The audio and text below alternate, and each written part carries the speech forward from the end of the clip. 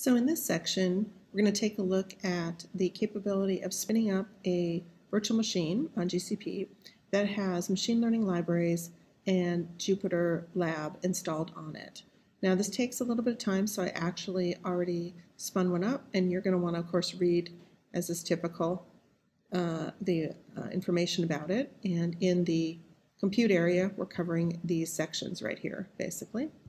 So this is under GCP under the AI platform.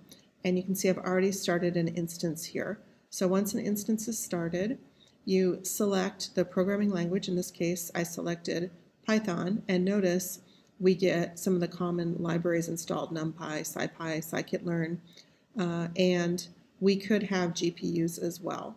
So then once we have this, we're going to work with this not with an SSH window, but with Jupyter. So if you click this link, which I already did. Then you have Jupyter Lab, and you can see inside of here we have some tutorials. And if we wanted to look, for example, at uh, working with um, some of the services like BigQuery, we could just click in here and we could see um, some example notebooks. And so here we have an IPython notebook getting started with BigQuery, kind of talks about um, working with BigQuery. You can see this is set up for Python 3.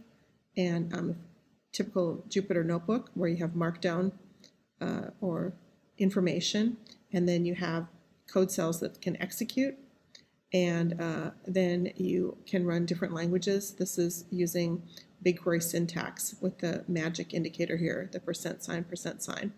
Um, and then you can import export, so you can save notebooks, you can upload notebooks inside of here. You can think of this, I call it like a smart terminal, and again, I see this being used really a lot for research. So why would you use this rather than a raw VM? Well, you can get up and running a little bit quicker because you have these pre-configured um, instances. So these are basically Google Compute Engine instances that have libraries already installed. And I hear, you know, oftentimes people are working with R, for example, or they're working with the Python, uh, you know, languages and libraries. Notice also for some of the instances, you can have GPUs, which is uh, commonly used for machine learning with deep learning, such as TensorFlow. So you can see we have TensorFlow 1.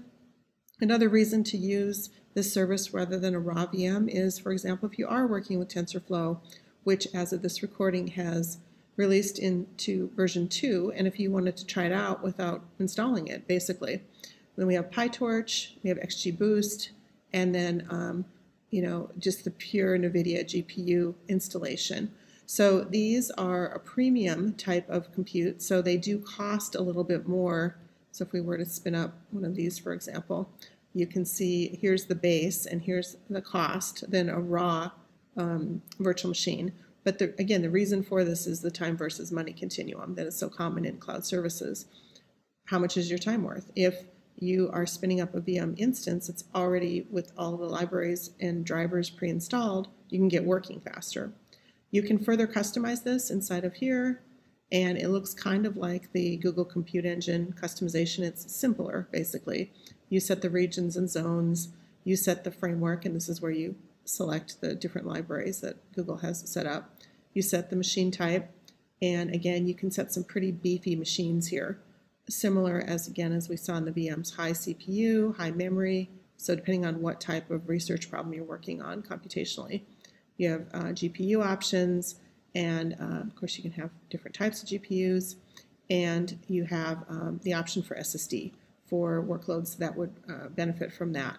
So this is a pretty new service as of this recording time um, but it's something I've been using already with some of my research groups. So I wanted to include it in the materials in this course.